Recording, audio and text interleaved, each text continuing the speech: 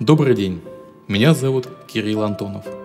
И для вас хочу прочитать свой стих, который называется «Пишите друг другу письма». Пишите друг другу письма. Не в СМС, не в соцсетях. Пишите любимым письма о самых простых вещах.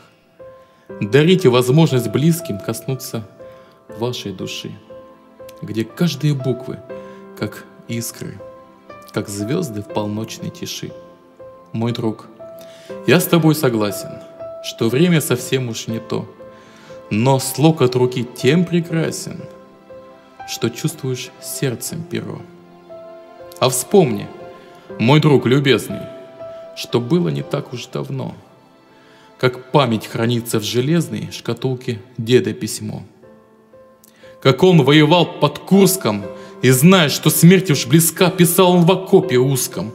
От взрывов дрожала рука, что все хорошо, подождите, я следующим летом вернусь.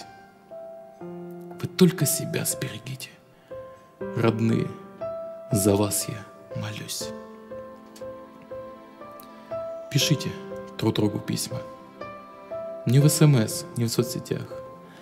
Пишите любимым письма о самых простых вещах. Если вам стих понравился, то поставьте лайк и поделитесь им с друзьями. До новых теплых встреч. С вами был Кирилл Антонов. Всем пока.